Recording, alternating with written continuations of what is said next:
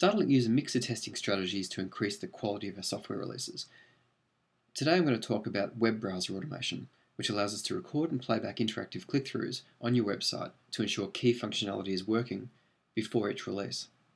This strategy helps maintain quality during the maintenance cycle and prevents seemingly small changes to your site causing large inconvenience. How does it work? Well, first, we write a series of user stories that define test coverage. A user story is something like this. As an anonymous user, I can log on using a valid username and password and then click a link to view my tax receipts. Rather than being technically focused, user stories are written from the user's perspective and they cover business value. It's important that the process for creating and selecting these stories is collaborative, so we work with the customer to identify the most important business functions to protect, rather than looking from a technical standpoint. Essentially, this allows us to reach a shared definition of release quality with the customer. And we can evolve this over time as new features are added or as new business requirements are discovered.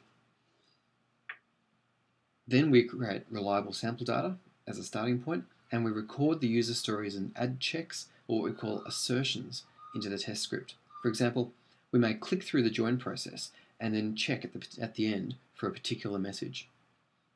We can run these tests manually, like I'm doing now, or we can import them into our automated test environment, which will allow us to automatically run the tests every time we check in any code changes across a bunch of browsers.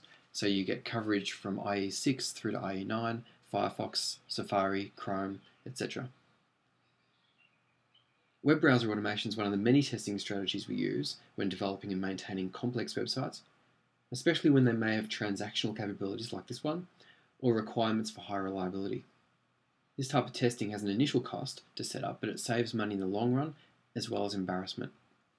So contact Datalink if you'd like to find out more.